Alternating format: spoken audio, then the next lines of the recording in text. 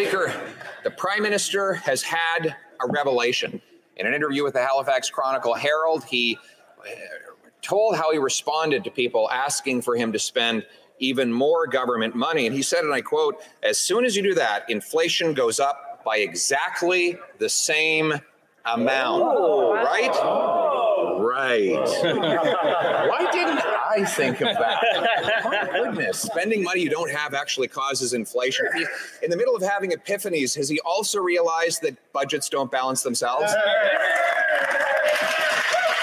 The Right Honourable Prime Minister. Mr. Speaker, the Conservative Party has been using that approach uh, uh, about concerns on inflation to stand against things like national uh, food programs for kids or dental care for seniors. They have stood and objected against and even campaigned against dental care for seniors over the past many months but we've delivered to over 100,000 seniors of the 2 million who've already registered for dental care the support that they hadn't gotten in years or even decades. But he stands against it with some uh, you know, made up excuse around inflation when delivering services delivers for Canadians.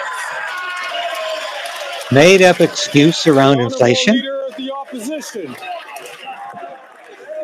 He calls his own words a made up excuse, Mr. Speaker. You can't make this stuff up. He said that when people ask him, Can you send us more benefits or send us an extra $1,000 a month? Well, he rep- responds, As soon as you do that, inflation goes up by exactly the same amount. Oh, right? Right.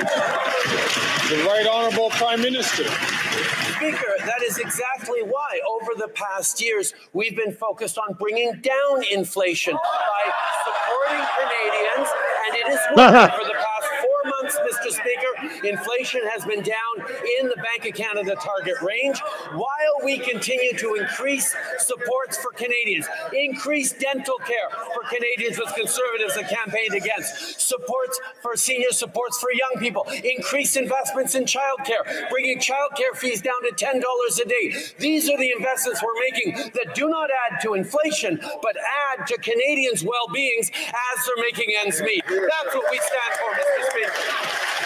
What the hell do you stand for? You didn't make any The sense. Honourable Leader of the opposition. he finally, for once, thought about monetary policy.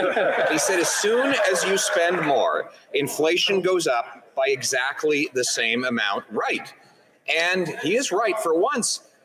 But repeating the same costly promises that he has already broken does not change that fundamental monetary rule. So, will the prime minister acknowledge that yes, the economy is about numbers, that people pay their rent in numbers, their gas in numbers, their groceries in numbers, and that the numbers are too high?